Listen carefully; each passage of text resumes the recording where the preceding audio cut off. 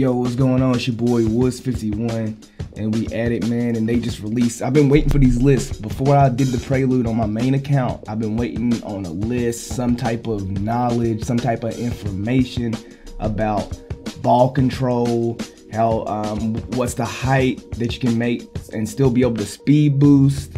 Um, what's the height you can make and still have these elite dribbling moves. Like we just needed more from the prelude we needed more information the Prelude did not give us, which that's another conversation on the Prelude. But we did just get a release from my man Zach Timmerman, 2K18. If you don't follow him, follow him on Twitter.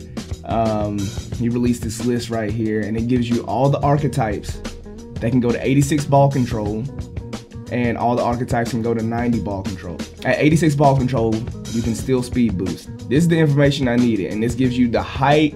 It gives you um, the primary and secondary that allows you to do that. Now, I don't know if weight will play um, anything into that. I'm waiting to see that also. Because if I make a, a 6'10, which I want to make a 6'10 uh, passing and ball handling small forward, you know, be beasting. That's the that's usually the beast builds we've had these past years. If I make a 6'10 passing and ball handling guy, if I max out his weight, I'm pretty sure I still won't be able to speed boost because his weight will bring out his speed so much.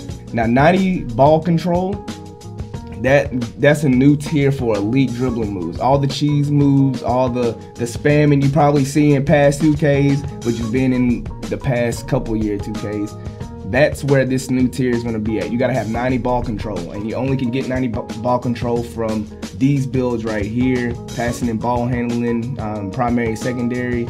All of them got passing and ball handling except shot creator uh, with the secondary of passing ball. And that's why I'm kind of, I don't know if I want to make a point guard yet. Every year I make, I start off my first build with a point guard. But this year, I don't know if I am. I might go small forward this time, passing ball handling 6'10. If I can get ankle breaker, at least gold with my small forward, because your small forward don't have ankle breaker Hall of Fame with passing ball handling.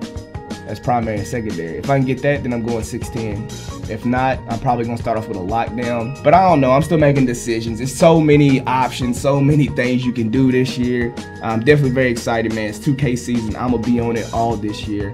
Let me know what type of build you gonna be making. Make sure to comment, subscribe, hit the little bell so you can get notifications whenever videos are uploaded. The Wood Squad, the Wood Squadron. And we do appreciate it. As we get more news, man, we're gonna release it we are very close to 2K being released, and uh, it's gonna be a lot of time on that. I'm gonna be a lot of live streaming. Make sure to join your boy Woods, man. We're gonna do it this year.